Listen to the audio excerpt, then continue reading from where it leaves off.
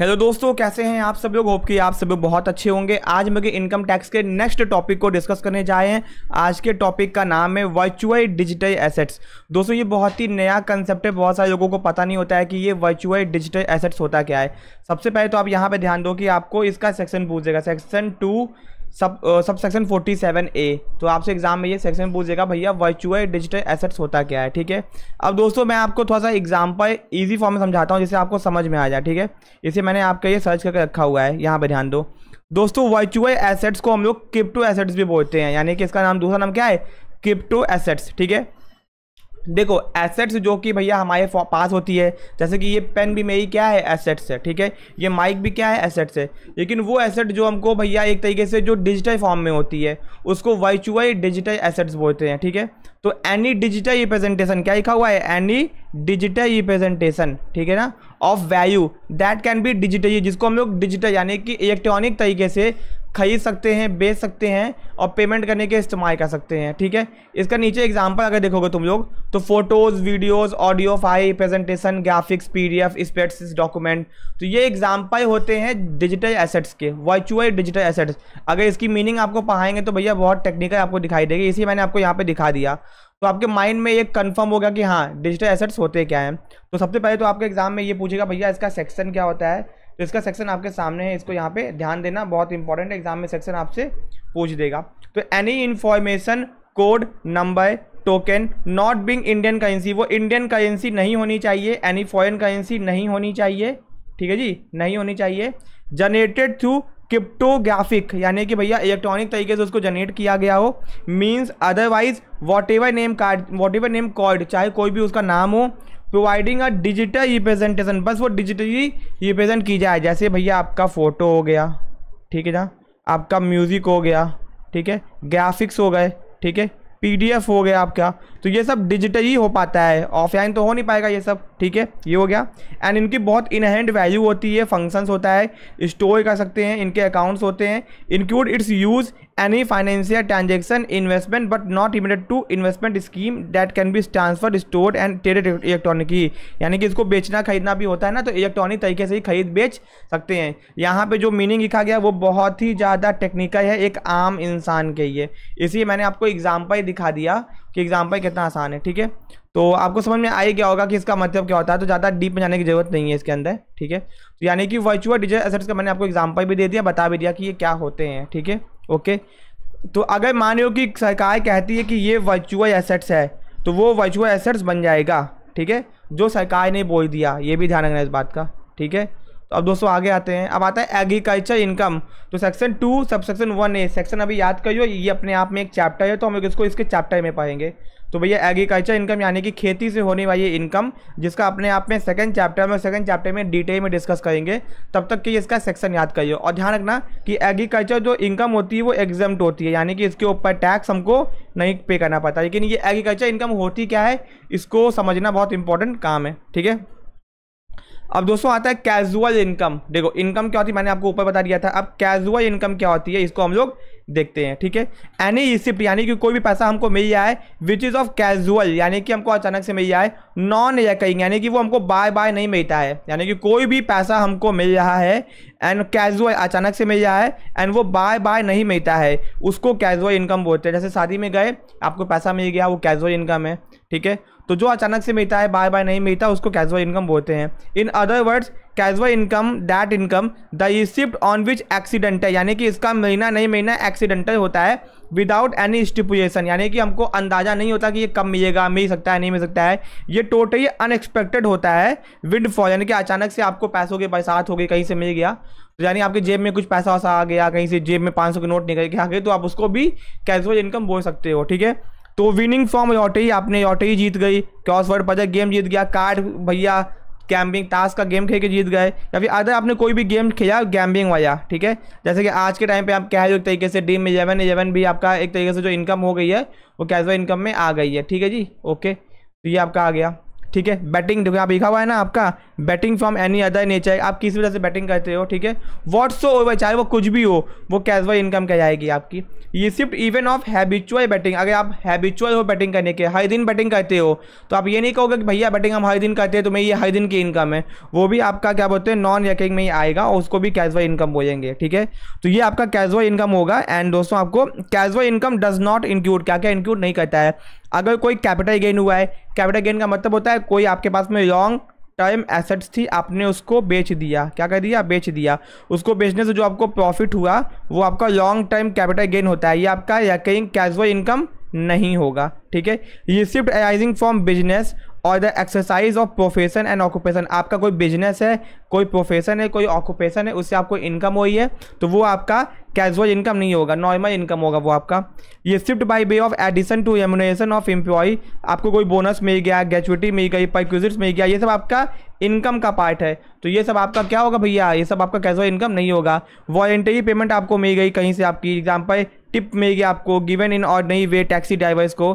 तो ये सब भैया आपका नहीं होगा क्या बोलते कैजुअल इनकम ठीक है? गिफ्ट फ्रॉम आपको रिश्तेदारों से गिफ्ट मिल गया, ठीक है? Payment by the husband to wife भैया हस्बैंड ने अपने वाइफ को पैसा दिया अलग रहने के लिए living apart living apart from the maintenance के होता है ना कि भैया एमोनी मनी यानी कि भैया पति पति जब तलाक होता है तो पति जब पैसा देता है, ठीक है? तो ये क्या बोलते हैं आपकी casual neither casual income not personal gift hence it is taxable तो पेमेंट बाई हस्बैंड अगर कोई हस्बैंड पैसा दे है अपनी वाइफ को, इस एग्रीमेंट के तहत कि वो अलग रहेंगे अलाउंस इज़ नाइदर कैज वो कैजुअल इनकम में नहीं होती है नॉट पर्सनल गिफ्ट हैंस इसके ऊपर टैक्स लगता है। ठीक है जी? ओके अब दोस्तों, कुछ अदर प्रोविजंस हैं, देख लो. एक्सपेंसेस आर नॉट डिडक्टेबल यानी कि अगर आप कोई खर्चा करते हो कैजुअल इनकम के लिए तो उसको आप डिडक्ट नहीं कर सकते, यानी कि माइनस नहीं कर सकते। यानी कि आपने लॉटरी की टिकट खरीदी तो आप ये नहीं, जब आपको इनकम हो जाएगी तो आप ये नहीं कहोगे कि लॉटरी की टिकट का पैसा भैया माइनस कर दो, ये माइनस नहीं कर सकते। Set off loss not permitted यानी कि अगर आपको नुकसान हो गया है तो आप उसको फ्यूचर में या किसी और इनकम से सेट ऑफ़ यानी कि एडजस्ट नहीं कर सकते हो। एग्ज़ाम्पल आपको भैया क्या बोलते हैं लॉस हो गया तो आप अपने, क्या बोलते हैं बिज़नेस के इनकम से इस नुकसान की भरपाई नहीं कर सकते या फिर किसी अदर इनकम से भरपाई नहीं कर सकते। टीडीएस यानी कि दोस्तों टीडीएस बहुत इंपॉर्टेंट है फुल फॉर्म भी इसका याद रखना TDS tax deducted at source if winning from lottery horse race crossword puzzle card game other than short exceed दस हज़ार। अगर आप कार्ड गेम घोए किए से दस हज़ार से ज़्यादा जीतते हो the tax we be deducted at source यानी कि आपका टी डी एस कट जाएगा, यानी कि टैक्स तुरंत कट जाएगा आपका, ठीक है? तो आपका ये हो गया। फिर दोस्तों rate of tax rate of tax का क्या मतलब होता है? On winning auto crossword puzzle तो मैं आपका जो टैक्स लगेगा वो तीस परसेंट के हिसाब से लगेगा। ये ध्यान रखना है इस बात का। ठीक है? अब दोस्तों, यहाँ पे आपको एग्ज़ाम्पल दिए हुए तो आप एक बार एग्ज़ाम्पल को देख लेना, ठीक है? मैंने आपको पूरा बता दिया है, ठीक है? तो वो कौन सी इनकम है आपको ये बताना है? आपके ये चार क्वेश्चन है तो मैं आपको एक बता देता हूँ। Mister X receive five thousand for acting once as an arbitrator without any stipulation as to remuneration कि भैया उनको इनकम होगी कि आईबिटेटर का मतलब होता है कि विवादों को सुलझाना, ठीक है? The receipt is of casual ये क्या है? कैजुअल इनकम है, क्योंकि ये बाय बाय तो होगी नहीं, अचानक से होगी, और ये भी नहीं पता कि पैसा मिलेगा कि नहीं मिलेगा। इसलिए कैजुअल इनकम है, ठीक है? तो ऐसे ही आप देख सकते हो। अब दोस्तों एसएससी कौन होता है? एसएससी ठीक है? दोस्तों एसएससी का पहले तो आप यहाँ पे सेक्शन याद करियो। Section two sub section seventy seven ठीक है? सेवन दोस्तों एसएससी वो होता है जो बंदा टैक्स पे करता है। सिंपल भाषा में जो बंदा टैक्स पे करता है, उसको एसएससी बोलते हैं, ठीक है जी? तो who is liable to pay any tax यानी कि वो किसी भी प्रकार का टैक्स पे करता है तो वो कौन कह जाता है एसएससी कह जाता है, ठीक है? Who is liable to pay any sum या फिर वो किसी भी प्रकार का पैसा पे किया है इनकम टैक्स एक्ट के हिसाब से, या फिर उसके ऊपर कोई इंटरेस्ट लगा दिया गया हो, कोई पेनाल्टी लगा दिया गया हो उसके ऊपर तो यानी वो भी एसएससी कह जाएगा यानी कि इनकम टैक्स डिपार्टमेंट ने उसके ऊपर किसी टाइप का पेनाल्टी लगा दिया हो, किसी भी कारण से इंटरेस्ट लगा दिया हो तो वो बंदा भी एसएससी कह जाएगा। यानी कि एसएससी उस बंदे को बोलते हैं जो टैक्स पे किया है या फिर इनकम टैक्स डिपार्टमेंट ने उसके ऊपर कोई पेनाल्टी कोई फाइन लगा दिया, वो भी क्या बोलते हैं, आपका क्या कह जाएगा? एसएससी का जाएगा। In respect of whom proceeding उसके ऊपर कोई केस चल जाओ ठीक है? उसकी इनकम की असेसमेंट को लेके या फिर किसी बेनिफिट्स को लेके। यानी कि अगर उसके ऊपर किसी भी टाइप का केस चाहिए है इनकम टैक्स के रिगार्डिंग ठीक है? तो वो भी एसएससी कह जाएगा। In respect of whom proceeding under the act have in assessment of income या फिर उसकी इनकम कम ज़्यादा थी एंड इनकम को चेक करने की उसके ऊपर कोई केस चाहिए आए तो वो भैया भी क्या बोलते हैं, आपका सी क्या जाएगा। ठीक है? अगर मान लियो कि क्या बोलते हैं, उसको क्या बोलते हैं, कोई लॉस हो गया। In respect of whom any proceeding under this act has been taken for the assessment of loss sustain by him और सच पर्सन यानी कि उसको कुछ लॉस हो गया है। लॉस वॉस के रिगार्डिंग इनकम टैक्स में कोई केस चल जाए तो वो भी आपका एस एस सी जाएगा। यानी कि मोटा मोटी अगर बात की जाए, यहाँ से ये कि यहाँ तक।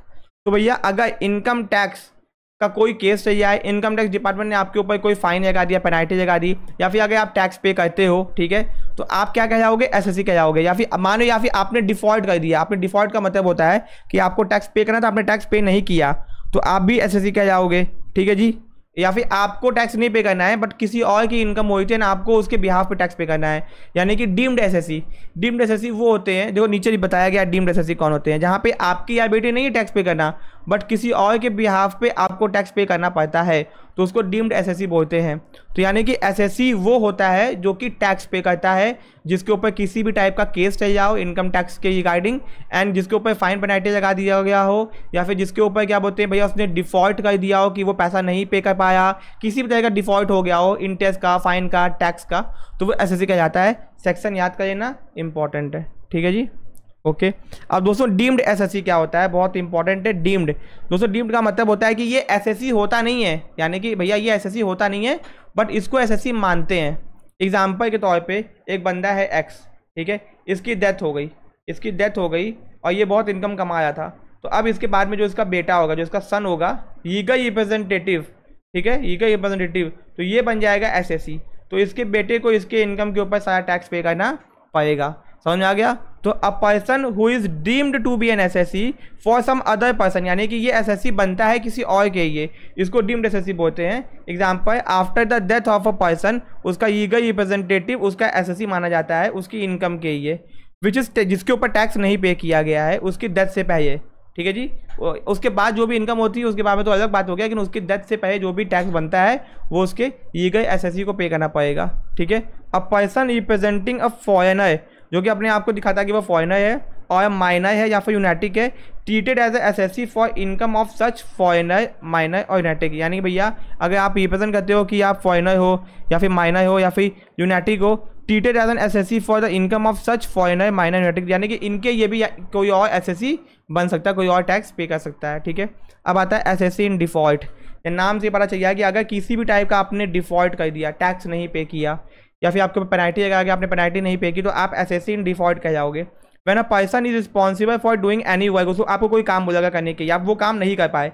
आपको टैक्स पे करने को बोला गया, आपको फाइन पे करने को बोला गया, आपको पेनाल्टी पे करने को बोला गया, ठीक है जी? लेकिन आप नहीं कर पाए तो आप कह जाओगे एस एस इन डिफ़ॉल्ट क्या कह जाओगे? Assessee in default simple सी बात है, इस पर कुछ ज़्यादा ताम झाम नहीं है। यानी कि अगर आपने किसी भी टाइप का डिफ़ॉल्ट कर दिया तो यानी काम नहीं किया तो आप एस एस इन डिफ़ॉल्ट कह जाओगे, ठीक है? अब दोस्तों असेसमेंट ईआई क्या होता है? सबसे पहले तो असेसमेंट ईआई का आपको सेक्शन याद कर लेना है। ठीक है जी?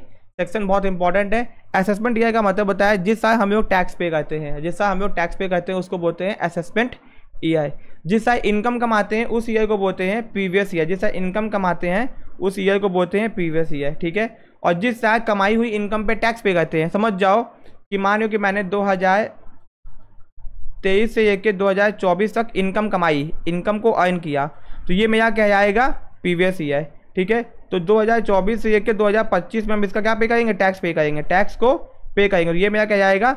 असेसमेंट ईयर तो जिस साल प्रीवियस ईयर की इनकम पे हम लोग टैक्स पे करते हैं, उस ईयर को बोलते हैं असेसमेंट ईयर क्या बोलते हैं? असेसमेंट ईयर बोलते हैं। ठीक है?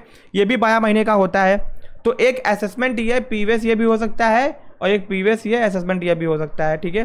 तो असेसमेंट ईयर क्या होता है? बारह महीने का होता है, एक अप्रैल से स्टार्ट होता है और आपका इकतीस मार्च को ख़त्म होता है नेक्स्ट ईयर एसएससी जो होता है पर होता है कि वो टैक्स पे करे अपने प्रीवियस ईयर की इनकम पे असेसमेंट ईयर में, जिसको फाइनेंशियल ईयर असेसमेंट ईयर बोला गया है। इसका सेक्शन ध्यान रखना, ठीक है?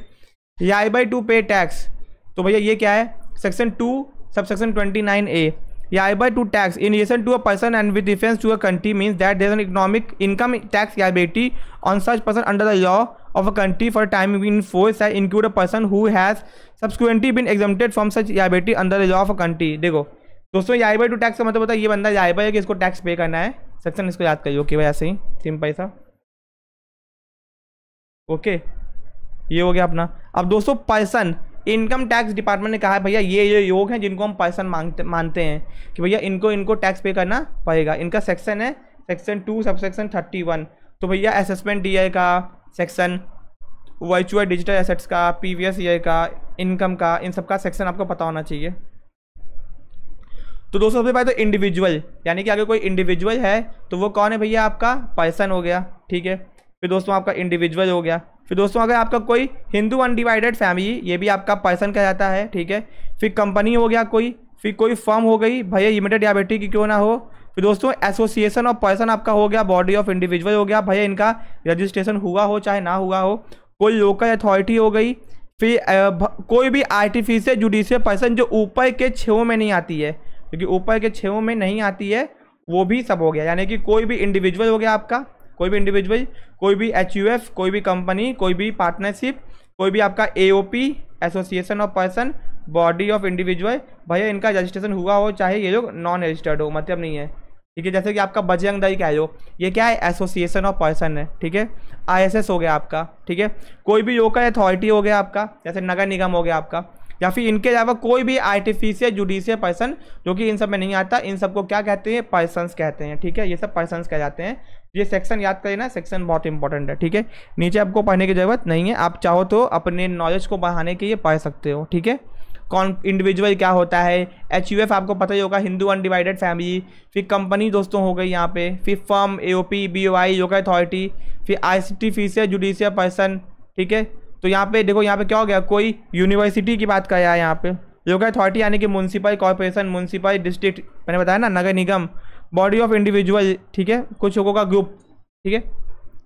अब दोस्तों आता है प्रीवियस ईयर तो प्रीवियस ईयर में हमको बस मोटा मोटी ये याद करना है, जिस हमने इनकम कमाई है, उसको प्रीवियस ईयर बोलते हैं। द सेक्शन याद करियो। The year in which income is earn the year in which income is earn is known as previous year and the next year in which income taxable is known as assessment year. Income is charged on the total income of the previous year. Income हमेशा total income पे लगता है previous year के। ठीक है जी? And कितने से लगता है? जो भी रेट प्रिस्क्राइब किया गया है फाइनेंस एक्ट के द्वारा। भैया तो इनकम टैक्स का जो रेट होता है, कितना टैक्स लगेगा? ये कौन डिसाइड करता है? फाइनेंस एक्ट डिसाइड करता है। ठीक है ना? ओके ये हो गया। जनवरी दोस्तों प्रीवियस ईयर जो होता है means financial year immediately preceding the assessment year तो ये आपके एग्ज़ाम में पूछा गया है। ये आपके एग्ज़ाम में यही लाइन आपके पूछा गया है कि भैया क्या होता है प्रीवियस ईयर तो फाइनेंशियल ईयर जो कि इमीडिएट यानी कि तुरंत पीछे आता है असेसमेंट ईयर के। ठीक है जी? ओके तो ये आपका ख़त्म कब होता है? ये तो सबको पता है। ठीक है? ये हो गया। ठीक है? अब दोस्तों, यहाँ पे कुछ एग्ज़ाम्पल दिया गया है कि समझाने के लिए आपको कि the meaning of time previous year can be better understood with the following example एक एस एस है, उसने अपना बिज़नेस कमेंस किया। एक जुलाई 2022 को। उसने कब किया? एक जुलाई 2022 को किया। ठीक है? तो भैया in every his case assessment year will be दो हज़ार तेईस चौबीस। In each case the preceding year will be as previous year तो एक जुलाई 2022 से इकतीस मार्च 2023 तक उसका प्रीवियस ईयर होगा, फिर इकतीस मार्च 2023 तक, ठीक है? फिर एक अप्रैल 2023 से इकतीस मार्च 2024 तक उसका हो जाएगा असेसमेंट ईयर ठीक है? तेईस चौबीस। तो इन सारे केस में असेसमेंट ईयर क्या होगा आपका? तेईस चौबीस होगा, देख लो तेईस चौबीस, ठीक है? तो यहाँ पे आपको मैंने अच्छे से समझा दिया, आप एक बार देखें ना। अगर आपका एक जनवरी 2023 को बिज़नेस स्टार्ट हुआ, एक जनवरी तो जनवरी फरवरी, एक जनवरी को स्टार्ट हुआ, एक अप्रैल से होना चाहिए था बट एक जनवरी को हो गया, कोई बात नहीं। जनवरी, फरवरी, मार्च तो इकतीस मार्च दो हज़ार तेईस में ही आपका खत्म हो जाएगा प्रीवियस ईयर यानी तीन ही महीने का रहेगा, है ना जी? क्योंकि देखो, एक फाइनेंशियल होता है, एक अप्रैल से इकतीस मार्च तक। ठीक है, अभी इस वाले केस के अंदर आपने एक जनवरी को बिज़नेस स्टार्ट किया 2023 तो एक जनवरी 2023 यानी कि भैया ये तो ख़त्म ही हो गया, ठीक है आपका? तो 2023 आपका ख़त्म हो गया पूरा। तो बता क्या जनवरी, फरवरी, मार्च? तो 31 मार्च तक आपका ख़त्म हो जाएगा पूरा। तीन ही महीने का आपका रहेगा। तो भैया एक अप्रैल 2023 से एक के चौबीस तक का आपका क्या हो जाएगा? असेसमेंट ईयर हो जाएगा। तीनों ही के अंदर सेम आंसर होगा, ठीक है? तो नीचे आप देख सकते हो, ये आप खुद से सॉल्व करना, ठीक है? अब दोस्तों exception to the general rule कुछ एक्सेप्शंस भी होते हैं, कि कुछ इनकम ऐसी होती है जिस इनकम में प्रीवियस ईयर में इनकम कमाते हैं और प्रीवियस ईयर में ही टैक्स पे करना पड़ता है। यानी जिस ईयर इनकम कमाएँगे, उस ईयर ही टैक्स पे करना पड़ेगा। ठीक है? तो ये भी आप देख लो। Cases where income of the previous year assessed in a previous year उसी साल उस पर टैक्स लग जाता है। ठीक है? Income tax is charge on the income of previous year in the during the assessment year however there are certain exception to this use in the following cases assessee को उसी साइड टैक्स पे करना पड़ता है जिससे उसने income कमाई है। यानी कि देखो नॉर्मली क्या होता है कि प्रीवियस ईयर इनकम कमाते हैं और उसके आगे साइड असेसमेंट ईयर में टैक्स पे करते हैं। बट दोस्तों कभी कभी क्या होता है कि जिस साल हमने इनकम कमाई, उसी साल हमको टैक्स पे करना पड़ता है। तो अगर income of a non resident from a shipping company तो अगर कोई शिपिंग कंपनी है, जो भैया पानी की जहाज़ जो कंपनी होती है, जो इंडिया में आती है, जाती है एंड वो बंदा नॉन रेसिडेंट है तो उसको क्या करना पड़ता है, आपको उसी साइड टैक्स पे करना पड़ता है। In the case of non resident जो कि बिज़नेस का या शिपिंग बिज़नेस एनी इनकम उसको जो भी हो रही है पैसेंजर को जाने, ये जाने में, जानवरों को गुड्स को, सामान को पोर्ट इंडिया में आता है वो will be tax in the year its its earning seven point five percent of the amount paid और पेबल जो भी उसको पैसा मिलेगा, उसके पास सेवन पॉइंट फाइव परसेंट का टैक्स तुरंत उसको देना होगा टी के फॉर्म में। Income of person living India अगर कोई इंसान है, वो इंडिया को छोड़ के जाया है when individual may you India in the current assessment year और shortly after it spy and no present intention of it और उसका इंटेंशन नहीं कि वो वापस आएगा the total income of such individual for the period of the spy of previous year तो उसको उसी साइड टैक्स पे करना पड़ेगा। अगर आप इंडिया के इंडिविजुअल सिटीजन हो रेसिडेंट भी हो और इंडिया छोड़ के जाए हो और कब आओगे पता नहीं तो आपको उसी साइड टैक्स देना पड़ेगा अपनी इनकम के ऊपर, ठीक है? अगर कोई भैया इनकम ऑफ़ ए है बी है, कोई भी जुडिशियल पर्सन है particular of event or purpose. When AOP BOI artificial person form established incorporated for a particular event, आपने किसी काम को, किसी एक्स वाई जेड को काम को करने के लिए आपने कोई एसोसिएशन बनाया, कोई बॉडी ऑफ़ इंडिविजुअल बनाया तो भैया उसमें क्या होता है कि जिस साल आपको इनकम हुई, उसी से आप टैक्स पे कर दो। क्योंकि आपका काम खत्म हो जाएगा तो आप तो भाग जाओगे ना, इसी, उसी तरह टैक्स पे करो, कहानी खत्म करो, ठीक है? Transfer of property to avoid tax कभी कभी कोई इंसान अपनी प्रॉपर्टी को ट्रांसफ़र कर देता है, क्योंकि उसको टैक्स ना देना पड़े। तो भैया इस केस में क्या होता है कि आपको उसी समय टैक्स पे करना पड़ेगा, उसी साल, ठीक है? On the discontinuance of business और प्रोफेशन अगर आपने बिज़नेस को डिसकॉन्टिन्यू कर दिया, बंद कर दिया तो जितना भी इनकम कमाए हो, उसी साइड टैक्स पे कर दो, आगे साइड के मतलब नहीं है आपका, ठीक है? अब दोस्तों डिफरेंस आपका यहाँ पे है। सेक्शन तीन में डिफाइन किया गया है previous year section two sub section nine में डिफाइन किया गया असेसमेंट ईयर तो इंपॉर्टेंट है, ये याद रखो, ठीक है? प्रीवियस ईयर का मतलब होता है कि the year in which income is and and दोस्तों वो ईयर जो कि असेसमेंट ईयर के पहले आता है, ठीक है? असेसमेंट ईयर भी बारह महीने का होता है, जिससे हम लोग टैक्स पे करते हैं, उसको असेसमेंट ईयर बोलते हैं। प्रीवियस ईयर बारह महीने से कम का हो सकता है, लेकिन असेसमेंट ईयर बारह महीने का ही होता है। ठीक है जी? अगर कोई न्यू बिज़नेस है तो उसका पीवीएस ईयर मानो उसने एक जनवरी को स्टार्ट किया तो पीवीएस ईयर कम महीने का हो सकता है। लेकिन असेसमेंट ईयर हमेशा बारह महीने का ही होता है, ठीक है? The year in which income is earned उसको पीवीएस ईयर बोलते हैं। The year on which previous year income tax is paid is known assessment year ठीक है? ये तो पता ही है, आपके सामने एग्ज़ाम्पल दिया गया है। तो यहाँ पे दोस्तों हाँ बहुत अच्छा एग्ज़ाम्पल है। अब देखो, यहाँ पे एग्ज़ाम्पल को हम समझते हैं, बहुत काम का एग्ज़ाम्पल है। The total income of mister A assessment year is दस लाख साठ हज़ार। इनकी इनकम कितनी है? दस लाख साठ हज़ार है। Mister A got an appointment data from the foreign country. उनको भैया फॉरेन कंट्री से क्या मिल गया? अपॉइंटमेंट डेटा मिल गया कि भैया उनको जाना है बाहर, नौकरी के लिए। वो इंडिया छोड़ के जाए बीस सितंबर 2023 को। तो भैया आप 2023 24 है तो देखो एक अप्रैल से आपका 2023 से लेके 2023 से लेके इकतीस मार्च 2024 तो the total income of the mister A for the assessment year ये आपका असेसमेंट ईयर ये आपका क्या है? असेसमेंट ईयर इसके पीछे वाला आपका हो जाएगा, क्या बोलते हैं? प्रीवियस ईयर तो भैया आपका एक अप्रैल 2022 से लेके इकतीस मार्च 2023 ये आपका हो गया पी वी प्रीवियस ईयर ठीक है जी? ये आपका हो गया. तो भैया अब हमको निकालना है कि कितना टैक्स लगेगा. सिंपल सी बात है, देखो यहाँ पे होगा क्या ना दोस्तों? कि जो वो छोड़ के जाया है तो उसको उसी साल अपनी इनकम पे टैक्स पे करना पाएगा। ठीक है? इसकी एस्टिमेटेड इनकम जो थी एक चार दो हज़ार तेईस से, देखे ना, एक चार दो हज़ार तेईस से बीस सितंबर दो हज़ार तेईस तक, क्योंकि इकतीस मार्च तक रुका ही नहीं वो। बीस सितंबर को ही चला गया। तो अप्रैल मई, जून, जुलाई, अगस्त एंड सितंबर, यानी पाँच महीना बीस दिन, पाँच महीना बीस दिन तक वो इंडिया में था। एंड क्या बोलते बिज़नेस किया इनकम कमाया। तो अर्न कितना कमाया? दस लाख साठ हज़ार। तो टैक्स ऑन ढाई लाख ढाई लाख के ऊपर तो कोई उसको टैक्स देना नहीं पड़ा। टैक्स ऑन ढाई लाख, पाँच percent mister A has to pay tax on is income during the financial year दो हज़ार तेईस चौबीस। टैक्स ऑन दस लाख साठ हज़ार कैसे कैसे है, देख लो तो पहिए तो ढाई लाख के ऊपर कोई टैक्स नहीं देना होगा उनको, क्योंकि भैया एग्जामेटेड ढाई लाख के ऊपर दो फिर जो नेक्स्ट ढाई लाख है, उसके ऊपर पाँच परसेंट से देंगे, वो बारह हज़ार पाँच सौ हो गया। फिर दोस्तों टैक्स ऑन पाँच लाख, बीस परसेंट से आपका हो गया, एक लाख रुपये फिर आपका टैक्स ऑन साठ हज़ार, जो बचा हुआ है, अट्ठारह हज़ार। ठीक है? तो इसके ऊपर health and education cess add होगा चार परसेंट का। ये आपका टोटल टैक्स निकल के आ गया। इस पर पाँच हज़ार दो सौ बीस रुपये ऐड कर देंगे तो एक हज़ार पैंतीस हज़ार सात सौ बीस आ गया। ठीक है? तो टैक्स ऑन छः लाख साठ हज़ार income of the date of living India ठीक है? तो वो आपका यहाँ पे देख लो टैक्स ढाई हज़ार के ऊपर कुछ नहीं हो गया।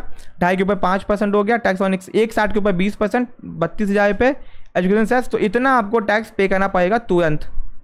ठीक है जी? आपको इतना टैक्स तुरंत पे करना पड़ेगा, क्योंकि आप इंडिया छोड़ के जा रहे हो। ठीक है? ओके अब दोस्तों मैक्सिमम मार्जिनल रेट ये मैंने आपको पहले बता दिया है, इसका सेक्शन के वजह याद कर लो ठीक है? ये आपका हो गया।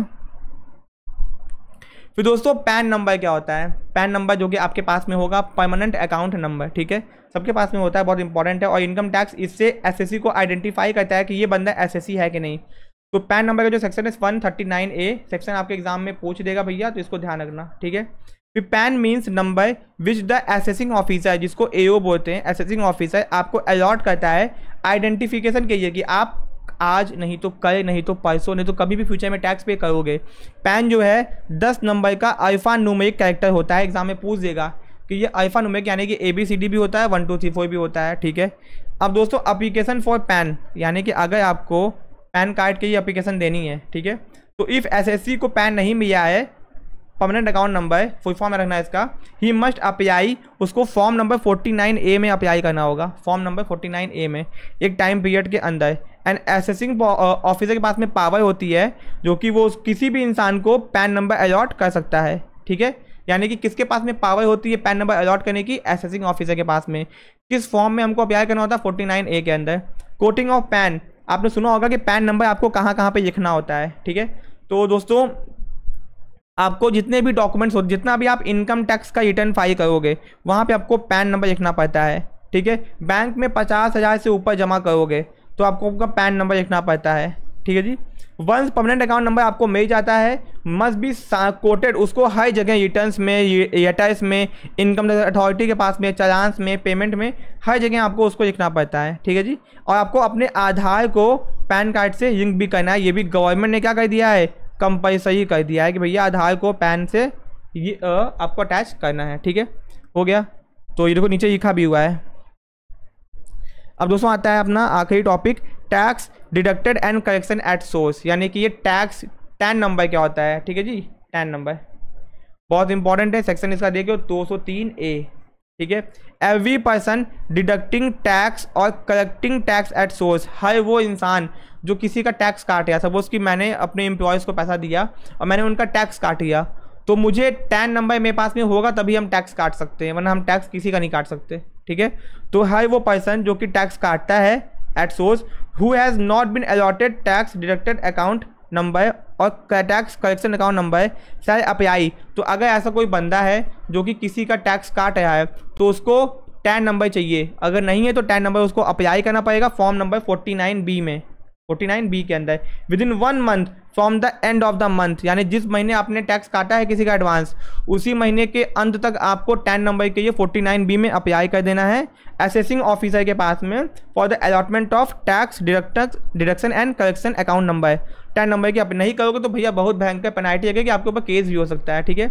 Where tax deducted and collection account number has been allotted person side code such number in the prescribe documents आपको सारे डॉक्यूमेंट्स में इसको लिखना होगा। तो फाइनली हम लोग ने इनकम टैक्स का फ़र्स्ट चैप्टर खत्म कर लिया। होप कि आपको समझ में आ गया होगा।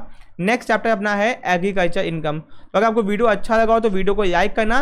चैनल को सब्सक्राइब करना मत भूलना। एंड अगर आप चाहते हो कि बहुत ही बेहतरीन तरीके से अपने घर बैठे बैठे पढ़ाई करना तो आप हमारे कोर्सेज को भी ज्वाइन कर सकते हो, जहाँ पे आपको हम लोग इससे भी बेहतरीन तरीके से पढ़ाएँगे। यानी कि ये आप समझ सकते हो कि हम आपको किस तरह से पढ़ाए हैं, आपको एक एक चीज़ को अच्छे से समझाए हैं। दोस्तों तो ऐसे ही प्रॉपर वीडियोस प्रॉपर एमसीक्यू के वीडियोस पीवीएस ईयर पेपर सब कुछ हम लोग को आपको, हम लोग के ऐप में मिलेगा। तो हमारी ऐप को डाउनलोड कीजिए, जिसका लिंक डिस्क्रिप्शन बॉक्स में दिया गया है, जहाँ पे आप कंप्लीट कोर्स को परचेज करके आयाम से पूरा इनकम टैक्स के वीडियोज़ को वॉच कर सकते हैं, ठीक है? ऐसे अपडेट्स के लिए बने रहेगा मिलते अपने नेक्स्ट पार्ट में। Thank you so much